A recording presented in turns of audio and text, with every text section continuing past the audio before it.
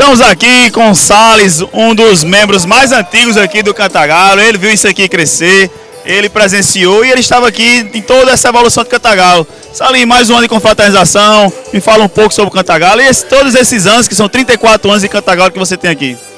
Boa noite, Ian. Rapaz, é, são 34 anos de Cantagalo, graças a Deus. E o Cantagalo, rapaz, é quando a gente entrou, quando eu entrei no Cantagalo, é, a gente nem, nem espaço para jogar a gente tinha. Hoje nós temos uma, um, uma associação das melhores do Nordeste. Nós temos campo de futebol, nós temos área de lazer como essa daqui, né? São muitos anos de lutas, é, é minha e, e de toda a equipe do Cantagalo. Graças a Deus o Cantagalo cada vez mais crescendo, né? E se Deus quiser, vai ser daqui para melhor. Salles, fala um pouco aí de, de, alguma lembrança que você tem desses 30, é, 34 anos de Cantagalo. Amigos se foram, outros chegaram. Fala um pouco dessa sua experiência sobre isso. E é o seguinte, uma lembrança que me marcou muito foi na inauguração desse campo aqui.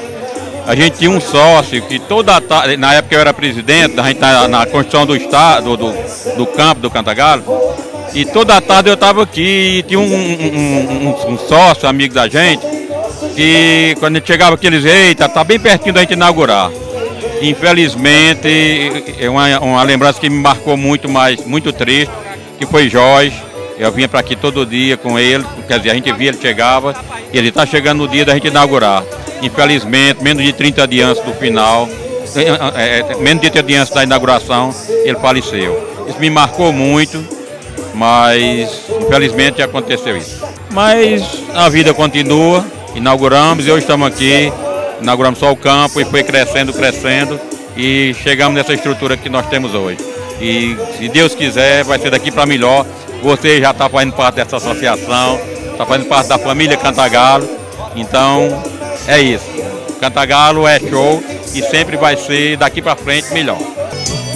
Estamos falando aqui agora com Ranieri, que foi um dos presidentes, já foi presidente do Cantagalo, já foi tesoureiro, tesoureiro, como diz é, Alan, quase dono, né?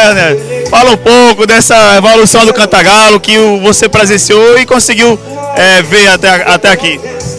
Realmente o Cantagalo hoje é uma referência, não só aqui em Souza, mas se a gente for analisar direitinho, em todo o Nordeste, quem está no Brasil, né?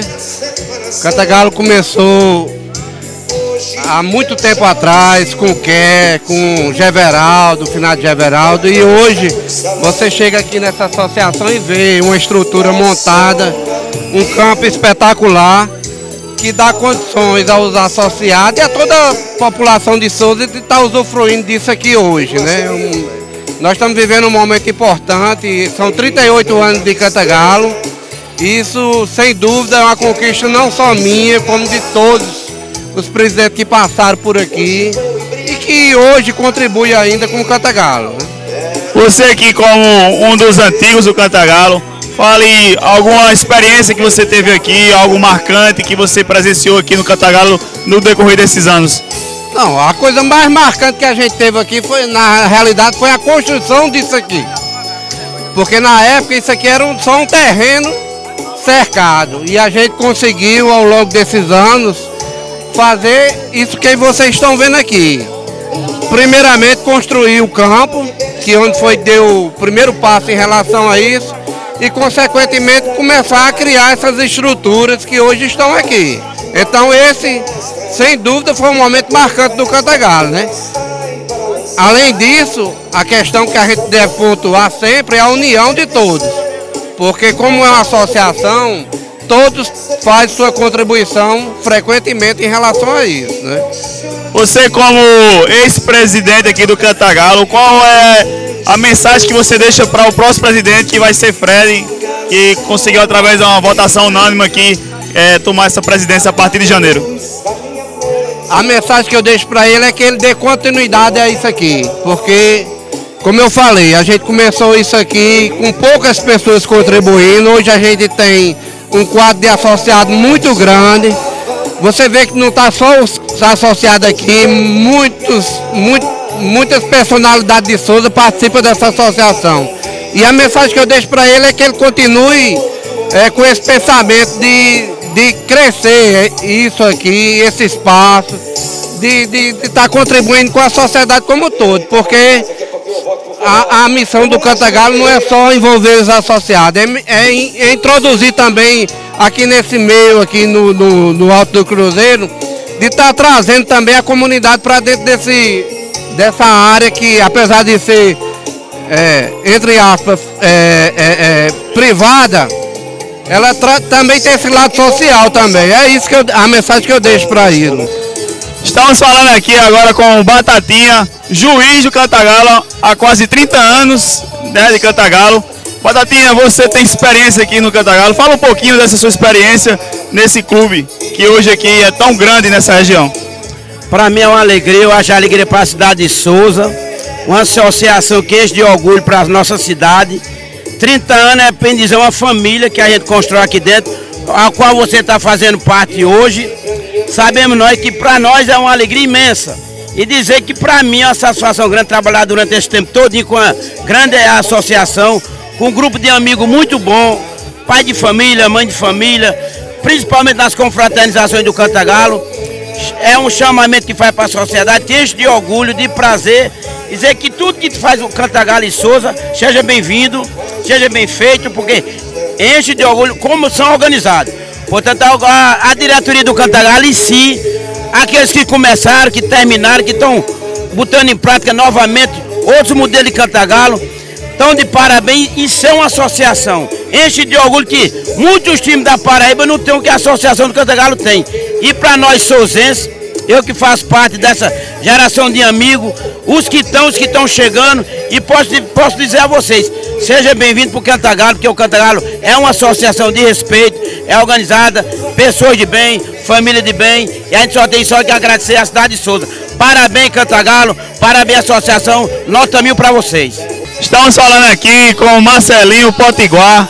Marcelinho que já faz 15 anos que está aqui, tem uma ampla experiência aqui nesse futebol de Cantagalo, viu essa Cantagalo crescer. Fala um pouquinho dessa história, Marcelinho, de você e desse clube Cantagalo. Valeu, Ian. É sempre uma satisfação falar com vocês. Cantagalo é isso aí, Cantagalo, sem dúvida, uma das maiores associações do Nordeste, né? E o Cantagalo não é o que é por hoje, e sim por toda a sua trajetória, toda a, a, a história de vida de, de, de, associados que não estão mais aqui entre a gente. E é sempre um prazer a gente fazer parte dessa, dessa associação. E quando eu parei de jogar futebol, até engraçado, que no dia que eu entrei no, no Cantagalo, eu me perguntei, é, joguei por 17 anos profissional, recebendo, e hoje vou ter que pagar para jogar. Mas hoje é, eu me comparo o prazer que eu tenho de jogar nessa associação como antigamente, quando eu jogava profissional, quando eu iniciei. Então, é uma satisfação. Eu acho que o Cantagalo hoje faz parte da minha, da minha vida e da minha história. Marcelinho, desses 15 anos, você tem algo que te marcou aqui nesse Cantagalo? É, Ian, eu acho que você ter muito, muito, muitas pessoas perguntam, você acorda duas e meia da manhã, três horas, para você jogar futebol, às vezes até o pessoal diz, você você tá doido, tá louco. Não. Eu acho que a gente tem que agradecer a Deus por estar tá fazendo isso, né? E vir o Cantagalo, eu acho que isso aí é maior, o maior marco. Você acordar três horas da manhã para participar de, de, de, um encontro de amigos, de, de daqueles que, que ainda podem vir. Então, eu acho que o que marca é isso. Você ter a disposição e a saúde para vir.